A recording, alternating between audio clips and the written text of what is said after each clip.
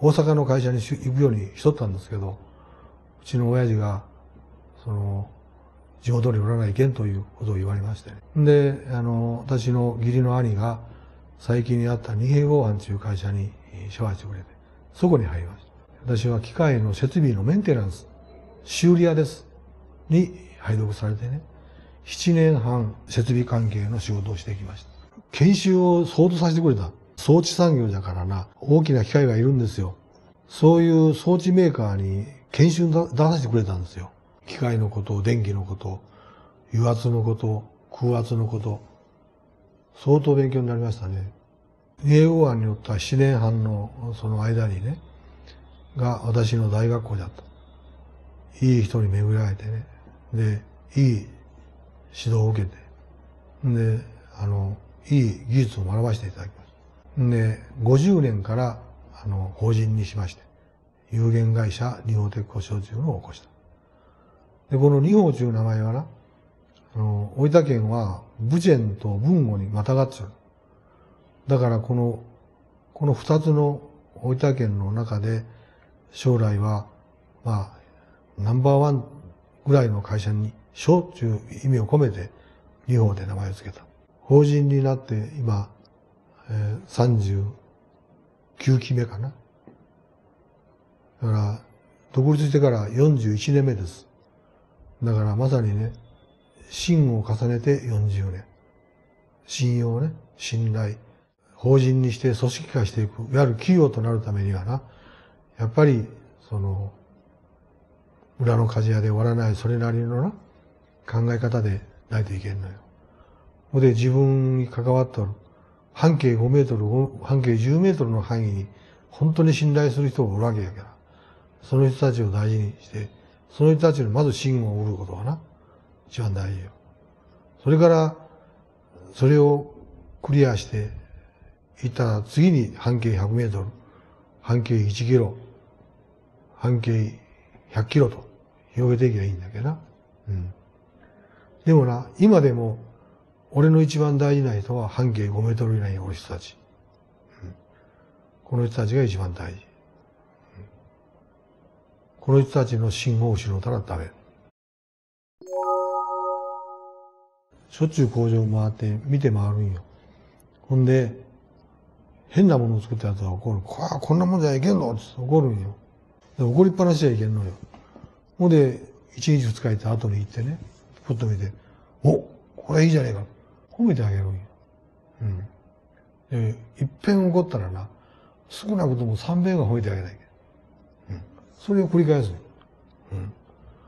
じゃあけな、野球の選手みたいに、ノックを訓練受けるじゃん。練習を。機械のオペレーターもそうなんですよ。全く一緒なんです。だから、あ、これかと。地面見たときに、ポンと頭に浮かんでな、手足が先動くように訓練しなきゃいけないわけだ。うん。そのための基本的訓練を工場を行ったらいけん。うん。それだけ。アルミニウムの溶接、ステンレスの溶接、鉄の溶接な、この資格を取ってもらう。ものづくりっていうのはな、ここの部品、ジョブ工場だろ？ジョブショップ我々は。部品を作るけな、最終的に何になるかじゃ分かってない。普通はな。で、うちは言うんよ。社員に、これは何になるの？って言うんよ。最終製品を教える。だから、見る機会ないない人は写真撮ってきて見せてあげる。自分たちがやってるのがこれになるんかって分かるんよ。わけわかんない作れば、これは、この部品が最終あれになるんだろうって分かった方がいいじゃん。図面通りに物を作るっていうのが基本じゃけど、どうもこの図面おかしいのと。いう時には、相手に、発注側に言うことなんよな。まあ当然、工場の中も改善活動もしないけんけど、その、お客さんの方にもやっぱり、発注側にも改善してもらいたいよな。おかしいと思ったことは、相手に提案する。そのうちの社員たちの努力、社員たちがいいものを作るな、精度の高いものを作っていく。社員の力、総合力ない。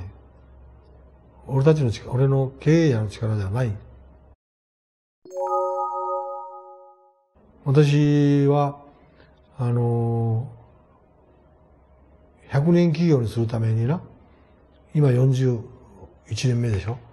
100年企業にするためには、次の世代をきちっとした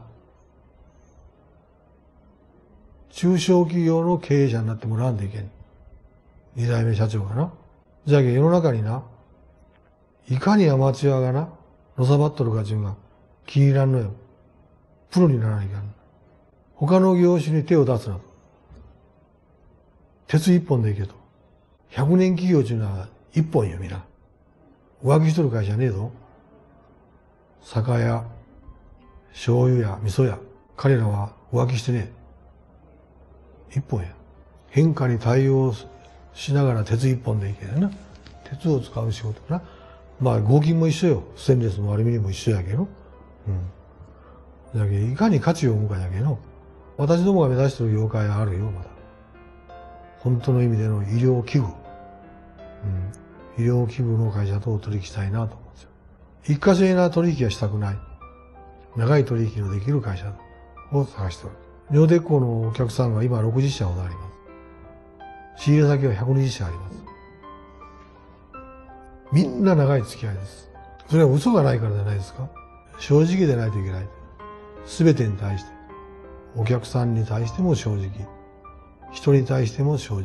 社員に対しても正直。